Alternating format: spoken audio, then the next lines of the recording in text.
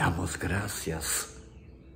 Todos juntos con gratitud, con acción de gracias, damos honor y gloria al Eterno por lo que Él está haciendo en la vida de preciosas mujeres que en todo Tijuana han recibido un llamado del Señor Eterno a emprender, a desarrollarse con éxito en la industria, en el comercio, en la medicina, en la educación, en la política.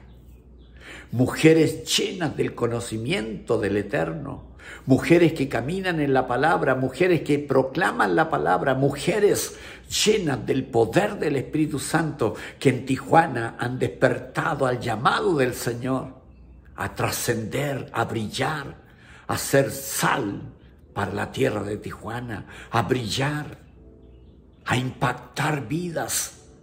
Mujeres que han entendido que el Eterno está con ellas.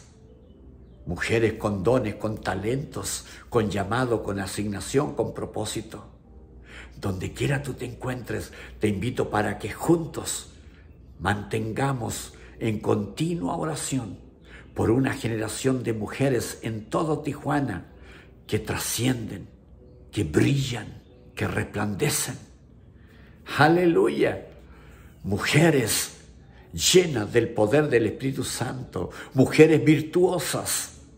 Así es, amén, mujeres virtuosas en todo Tijuana.